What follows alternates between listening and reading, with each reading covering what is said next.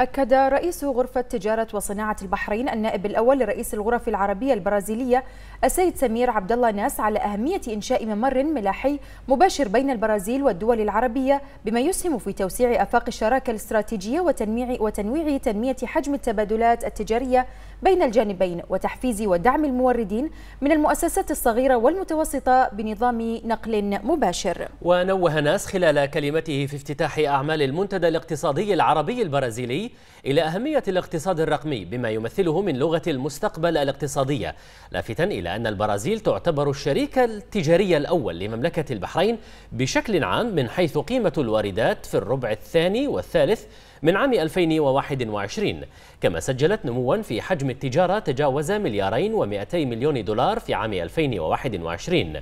وأعرب عن حرص القطاع الخاص في البحرين على توسيع الشراكات مع نظرائهم بالبرازيل. وعبر رئيس الغرفة عن تفاؤله الكبير في التعاون البحريني البرازيلي المشترك في القطاعات الواعدة كالطاقة المتجددة والأمن الغذائي وتكنولوجيا المعلومات والاتصالات والسياحة مشيرا في الوقت ذاته إلى أهمية توحيد الجهود لتعزيز التجارة بين البحرين والبرازيل والعمل على تهيئة البيئة المناسبة للوصول إلى تحقيق الأهداف المشتركة بين الجانبين.